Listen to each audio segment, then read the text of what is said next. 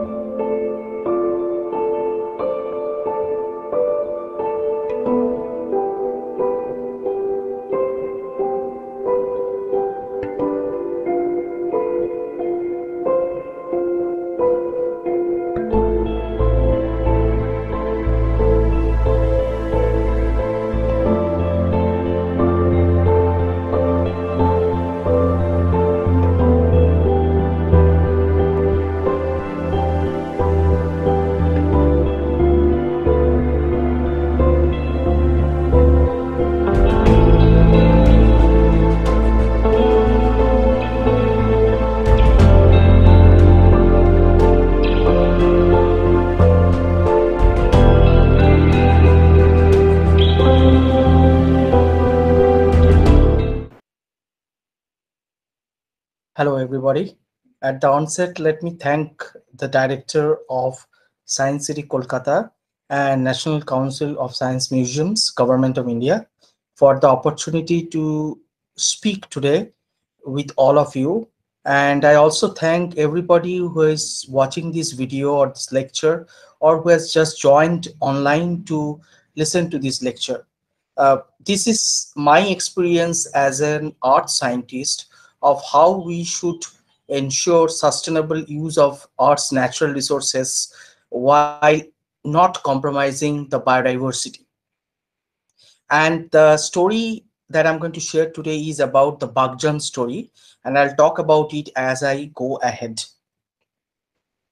The world population is approximately 7.9 billion as I speak today, and therefore it is becoming increasingly challenging for sustainable management of our dynamic planet because of the increasing human pressure. And as a result, the natural resources are becoming uh, less and less. One of the biggest challenges that we face is food security. And as a result, many of the uh, biodiversity rich regions or biodiversity rich waterscapes and landscapes are being converted uh, for the purpose of securing food to sustain the huge population that we have globally. And of course uh, when we have such huge population there will be a demand for energy there'll be demand for resources. The gadgets that we use mobile phones laptops you know televisions uh, everything requires energy and where from do we get it?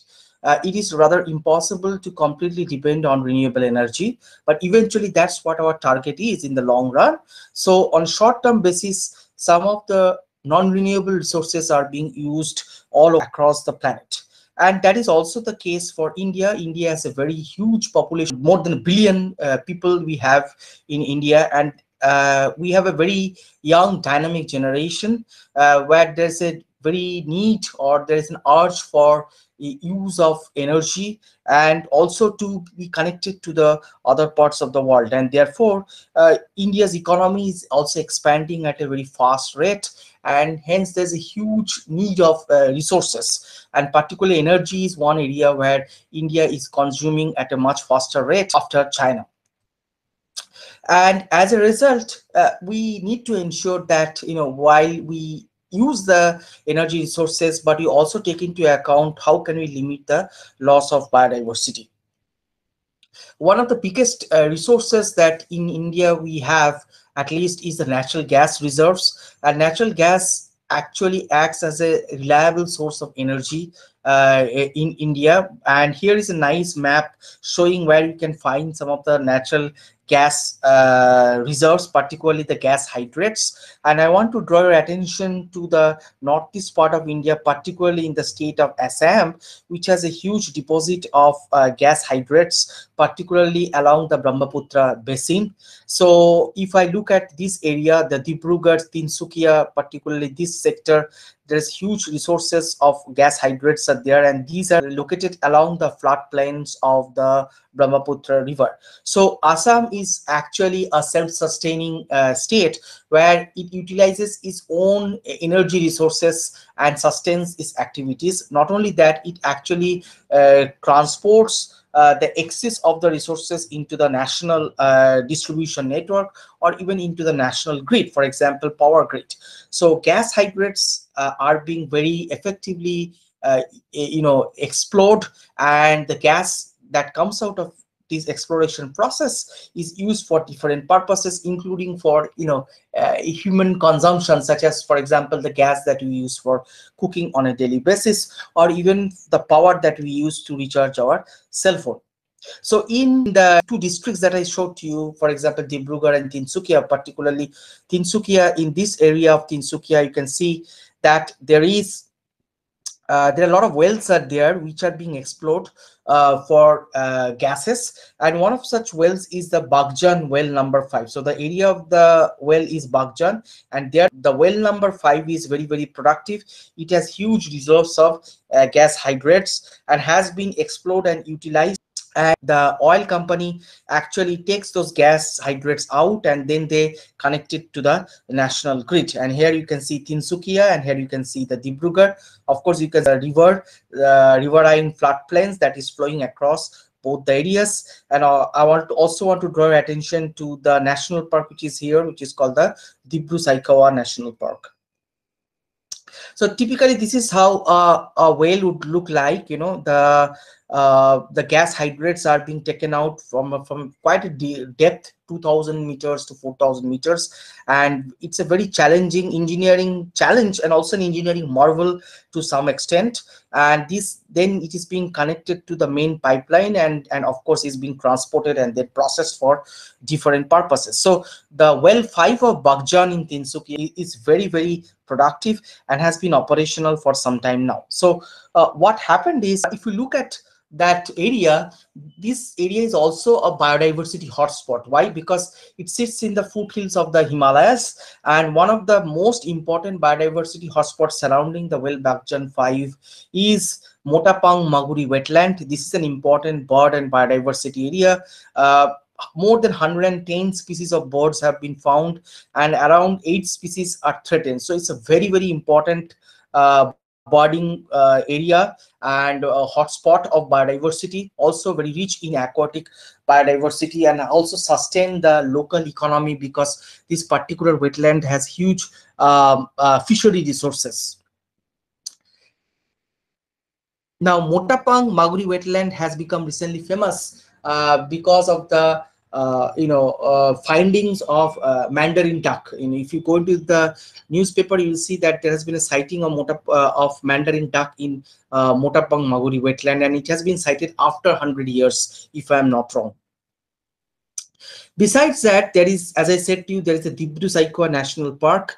Uh, this is a very biodiversity rich region. And of course, this national park is famous for the Hoolock Gibbon. Uh, if you look, you will know about Hoolock Gibbon. This is one of the refugees of uh, Hoolock Gibbon found in this uh, national park and of course surrounding the Baghjan region. Uh, there are a lot of other biodiversity uh, areas or zones surrounding this well uh, but I also want to draw your attention to that besides there are grasslands are there, but there are a lot of tea gardens are there. So of course, there's an economic side is there. And as I said to you before, uh, a substantial local population is dependent on the rivers, uh, on the on the wetland for for their uh, daily uh, activities and of course the fishing is one of the biggest uh, activities that happens in this area now, what happened is on 27th of May, during a routine uh, repairing of, of the well 5, a blowout happened. And this event happened on 27th of May 2020. And as a result, uh, the uh, gas hydrate started to come out. The gas started to come out because there's a change in the pressure. And uh, there's gradual release of volatile condensates and the gas hydrates were coming out and the pressure was about 4000 pounds per square inch. So you can imagine how much intensity of the hydrates were coming out. Is essentially in a very simple way. If a jet plane just hits you know the amount of uh, the heat that it can generate. So that that that's what you're looking at essentially. So the routine maintenance led to this you know a, a technical flaw and as a result the gas started to leak out Now, obviously, the oil company which was working there, they start immediately started to uh, fix the problem. But uh, during the course of time, what happened is on 9 June of 2020, during the fixing the problem, actually the hydrate uh, caught fire and there's a huge explosion uh, in and around the well 5 of the Baghjan. And you can see in this photo the entire, uh, you know, the trees and, and whatever the uh, terrestrial vegetation that were there absolutely got burnt out almost within one to two kilometers uh, radius of the well. So uh, immediately uh, we had an opportunity to actually go and figure out what kind of damages that had happened uh, between these two events. So that is the 27th May event when the gases started to come out, the condensates started to come out because these condensates started to deposit on the vegetation. And of course, uh, on 9 June 2020, uh, there was this fire. And please recall all these events were happening when in last year, Corona was in full force, not only in India, but globally. So we went down there and we started to look at the damages, uh, the kind of dam immediate damages as a result of the explosion of the well. And we use state-of-the-art approaches. So here is one photo where we are actually trying to assess how much hydrocarbon have been deposited in and around the well 5 because there are a lot of grasslands are there terrestrial vegetations are there the periphery of the maguri motapang wetland is also there and you can see that how prominent this fire was of the well 5 that this is one shot showing from one end of the Motapang Maguri wetland. Clearly visible you can see that the fumes are going up and these fumes are nothing but con condensates and these condensates would be depositing on the wetland which could have uh, long short-term and long-term effects on the biodiversity uh, one of the things that became very, very clear was you can clearly see that after the fire, lot of the the grasslands got burnt out or a lot of the leaves of the of the grasslands you know they got wilted. You can clearly see out here. And please see at the background the the foothills of the himalayas very clearly. So so the damage was uh, quite apparent. And uh, this damage was not just restricted to these wetlands, but it also expanded towards the tea plantation. And you know, a large population in that area is dependent on, on the tea plantation for their employment and livelihood.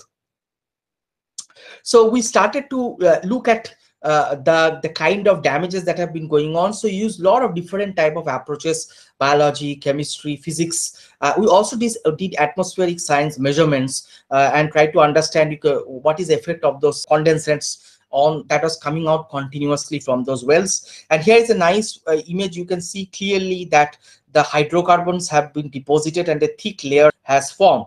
This is one image showing uh, on the effect of the oil floating. Basically the hydrocarbons are floating on the surface water of the uh, motapang maguri wetland. And these are all surrounding this aquatic vegetation. So when oil starts to float, obviously they will prevent the gaseous exchanges, which means that the biodiversity in the water, the aquatic biodiversity will be affected, including fish population, particularly the fish larva, which is very, very important uh, for in the Maguri Motapang for maintaining the trophic balance and also from the perspective of the socio-economics of the region.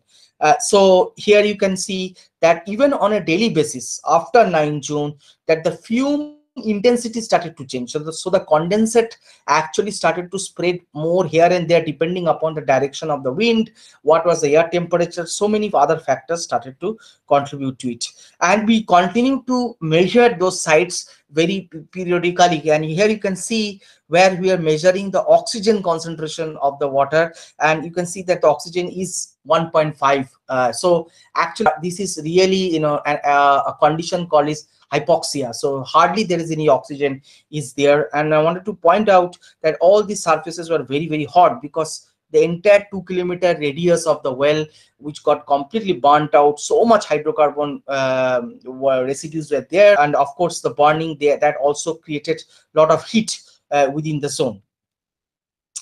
And the apparent loss of biodiversity was visible. So for example here you can see one photo where the fish biodiversity was very badly affected uh, here is another nice example where you can see the mollusk shells completely crumble. So that means this temperature must have gone beyond 200, 300 degrees Celsius for the shells to crumble in this way. So it tells you how much uh, heat was generated when the fire was uh, got caught on 9th June of 2020. And this is a very uh, I would say a momentous photograph in some ways. It shows you that you know uh, you know people who used to live here you know see just this bicycle what is the condition of it is? It is completely mangled because of the heat. The house and everything is completely mangled. There used to be uh banana plantation out, out at the background. Everything completely got burned out. And this is approximately uh less than a kilometer away from the uh, well 5 of the Baghjan which caught fire on 9th of June. So so the damages were apparent and we continue to measure it but not everything could be said was negative. During the june time when we when we started to do the assessment we also found that the ecosystem was showing signs of resilience or recovery.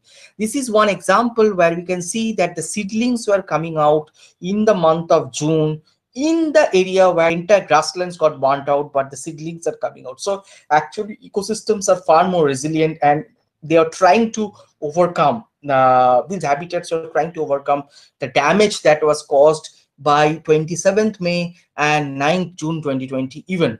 And we again went back after a few months in December. So on 3rd of December 2020, the fire was finally doused off, the capping of the well happened and the well was, uh, I would say, abundant and uh, when we went back in after that immediately after 3rd june 2020 we we started to look back at the ecosystem more carefully. And here is a nice image uh, which comparative image it shows. A, a grassland which is burnt out and the, and the trees completely looks like burnt out.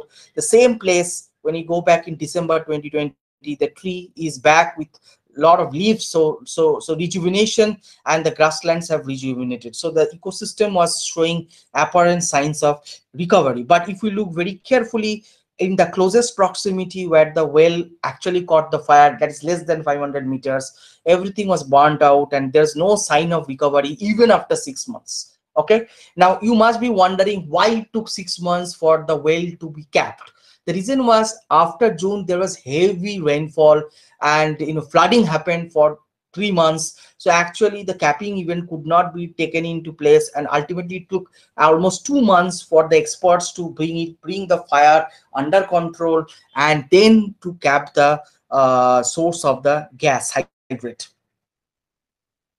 Uh, but we also saw that there were signs of biodiversity recovery in December 2020. So as I said to you, we're seeing a lot of plants that were started to grow up. So the, the original uh, vegetational pattern was starting to show up in this area. But not all was good, I must say. There were persistence of signatures of gas explosion. So the residues of the hydrocarbons were found. So in this case here, you can see that the plants have died out, but the hydrocarbons have accumulated around the plants. So some plants have the capacity to bioaccumulate uh, different types of pollutants, including hydrocarbons. So, so that means that the sites were still contaminated. And here is another nice example where you can see that the uh, water masses were still contaminated with hydrocarbons, but the vegetations were showing signs of recovery. Uh, one of the interesting features that we saw is in June, or we observed is that livelihood had resumed by that time. People have adapted themselves to these changes and the normal daily activity that used to happen before 27th May, you know, it continued in course of time. And it, for example, fishing is a very important component that resumed that kept on happening. Uh, and uh, so actually people were showing also signs of resilience along with the ecosystem.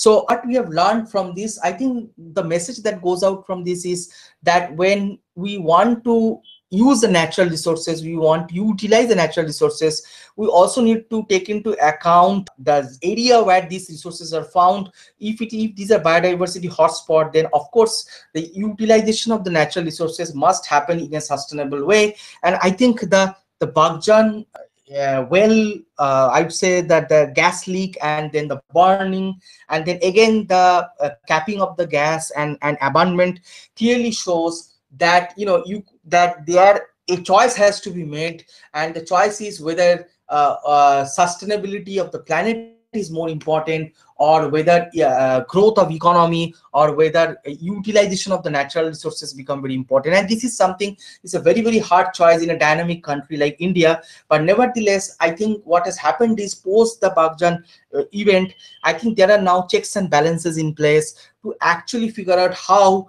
uh, how we can balance and utilize the natural resources without compromising or without compromising the biodiversity or rather I should say how we can limit biodiversity loss. At the same time we can utilize the natural resources such as the gases that are there in the hydrates of the region. And I think uh, one of the other interesting aspect that we are continuing to work is we are trying to understand how long does it take for resilient ecosystems to actually uh, recover in course of time. And this kind of event which happen abruptly but is very very strong how does ecosystem respond to it? So we are continuing our work in, this area. I did not show many of the data but i would welcome uh, if you have any questions if you have any suggestions any clarification feel free to write to me to my email address pbhadury at iiserkol.ac.in and thank you all very much and I look forward to hearing from all of you. Thank you again.